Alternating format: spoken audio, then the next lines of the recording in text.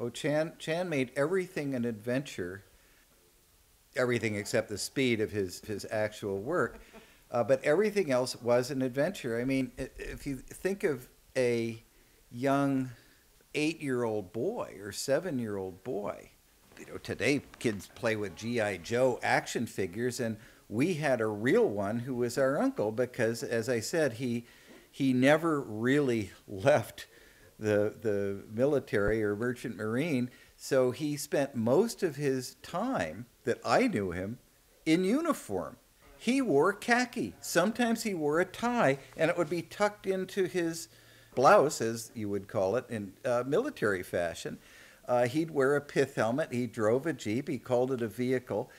And so he was always on maneuvers, and it was fun to go out with him because he made it an adventure. Chandler was not a standard issue fellow.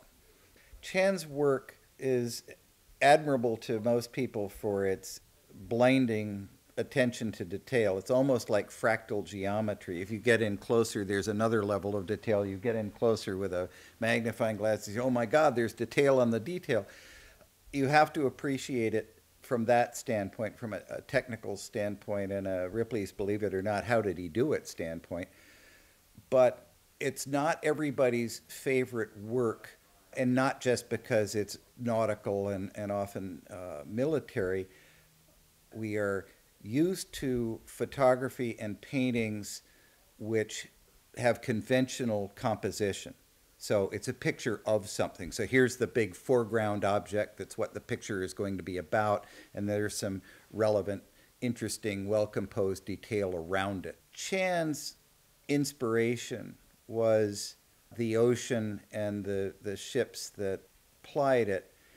And he'd spent so much time there himself and so much time in study of the ocean that his paintings, when he was left to his own devices, were much more faithful to what you would see if you were flying over the ocean and looking down and seeing a ship somewhere than how our conventional notions of a ship on the ocean would have it. We want to see the ship uh, big and bold and get a good look at it, and there's a little sea around it to show that it's on the ocean.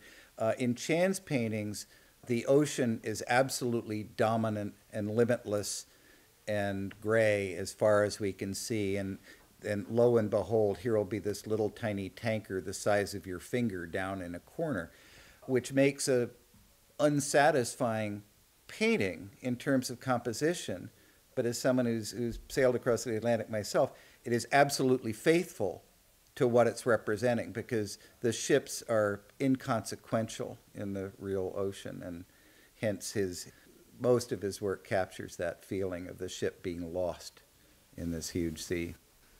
Chandler's art is very photorealistic down to the most microscopic and mundane detail of these usually military vessels and humble military support vessels that he painted, but he applied equal microscopic rigor to working models of Liberty ships and tankers and other support vessels that he'd construct out of various kinds of metal foil, lead foil, aluminum foil of various weights and, and pliabilities.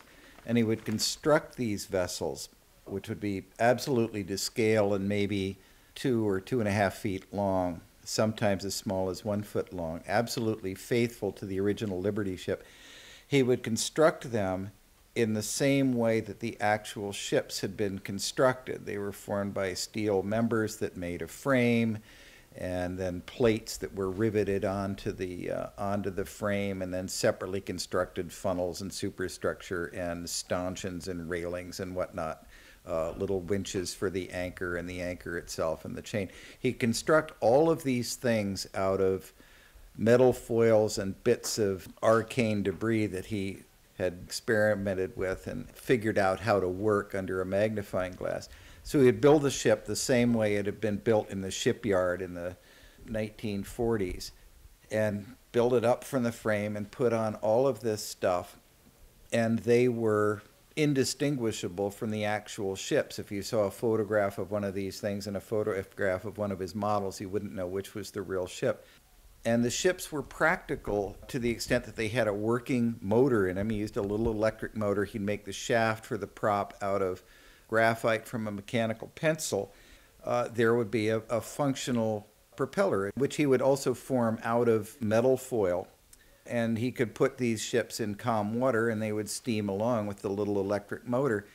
Uh, when I was a kid, he was just fascinating and he was always off on some adventure and one of the best adventures was when he had one of his new hand built models of one of these vessels and we would set off in search of one of the little lakes on Seven Gates or somewhere to, to sail this thing and one of his deep frustrations was that you can make every aspect of these boats to perfect scale but he couldn't find scale water because on a lake they're just ripples. And of course, if you look at one of his paintings or look at the real ocean, you see the real waves and real water are very different. And so he had the perfectly scaled boat on imperfectly scaled water, and it used to make him crazy.